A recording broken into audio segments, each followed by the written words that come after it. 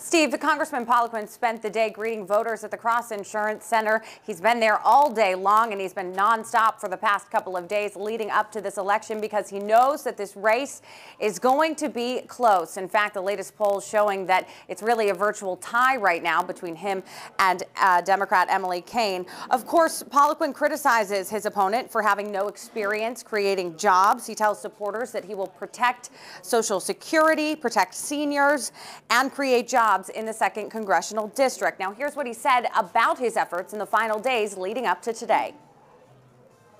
Meeting as many voters as I possibly can. We need to make sure that everybody goes to the polls and votes for Bruce Poliquin for Congress because we need to protect our seniors and our veterans and we need to create more jobs. And this is the most expensive congressional race in Maine state history. Poliquin and Cain, the race, 16 million spent to influence its outcome. And now covering Emily Cain right down the road from me here in Bangor. We want to send it out to my colleague Morgan Sturdivant. Hey, Morgan.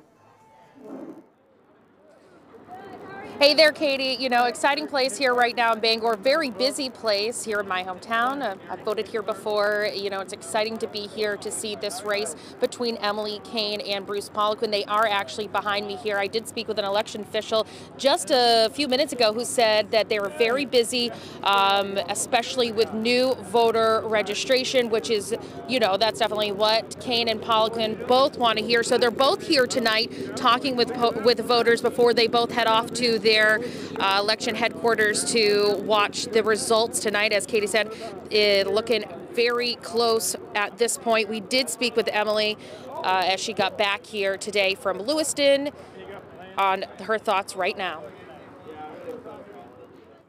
I'm just so excited by the turnout. There have been so many people coming out to vote, some for the very first time, who are enthusiastic. I'm proud to be asking for their vote. I'm proud to earn such broad support from all parts of the state and from people who are voting for every one of the candidates for president.